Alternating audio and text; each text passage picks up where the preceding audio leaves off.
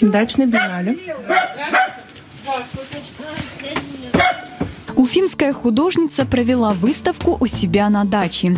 Здесь, в садовой мастерской, в 40 километрах от города, Елена Веревкина проводила карантин вместе с красками и холстами.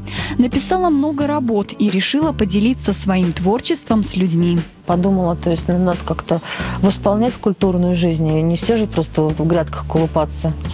Позвала соседей, пригласила, мы здесь организовались. Так, так же, как в галерее, только на даче. Тема коронавируса не обошла художницу стороной. Ей она посвятила небольшую серию работ, в которых много символизма. Это и яркая цветущая герань, и отталкивающая колючая проволока. Одна из самых запоминающихся картин «Клетка» сейчас висит в Центре современного искусства «Облака» в Уфе. Испытала очень много эмоций в этот момент, пока я ее писала. То есть я решила, что моя клетка не будет клеткой. И эта клетка, если заметили, она растворяется солнечным светом. К коронавирусу Елена относится спокойно, ведь есть и более серьезные заболевания, чем COVID-19. Так на ее глазах от рака умирала свекровь. Елена не раз приходила навещать ее в онкодиспансер и видела, с какой скоростью заполняются койки. Мы с ней познакомились как раз первый раз 25 лет назад в онкодиспансере, пришли ее навещать. И так получилось, что попрощались тоже там. За те 25 лет то есть я же помню, какие были палаты. Сейчас там просто места нет койки. Но людей это не пугает, потому что все считают, что это их не может коснуться. А тут какой-то грипп, но я же могу заболеть, я же могу оказаться в тяжелом положении. Елена привыкла к трудностям, но не привыкла опускать руки. Справляться с переживаниями помогает любимая работа. Любая деятельность такая, это и есть элемент арт-терапии. То есть ты можешь пойти, допустим, излить свою злость на кого-то, там, свои переживания, свои нервы, а можно просто взять и выразить это на бумаге. Елена рисует каждый день, причем в любом месте и положении. Даже во время разговора с нами продолжала работать.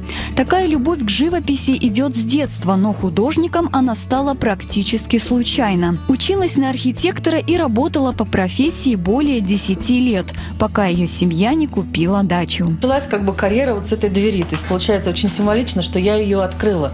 Когда мы купили эту дачу, я увидела, что здесь натянут холст. Я привезла краски, и пока ребенок спал, я быстренько сделала зарисовочку на ней такую детскую еще, тут не, не очень уверенную, но такую.